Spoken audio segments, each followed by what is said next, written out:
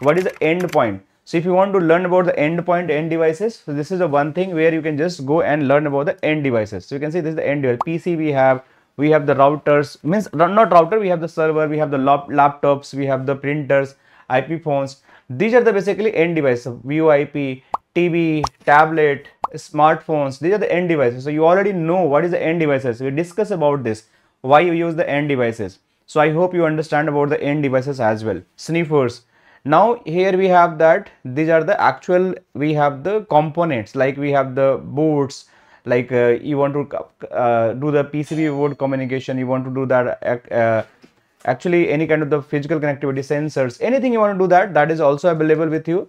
And uh, anything you want to connect the cables that is the cables. Like you have the cross cable we have the console cable. So you just click on here you can find it console cable cross cables right? You have the straight cables so get copper you just go and you will find the names. You can see this is the names written here. So you just go any of the click on the any of the cables you are going to find the description and name of that particular cables. So you can see this is my serial DCE cable. It is written here. You just go your mouse there and you're going to find the cable name. If you don't know which device is going to which cables so you use the automatic one. This is automatically select the right cable for the device's connectivity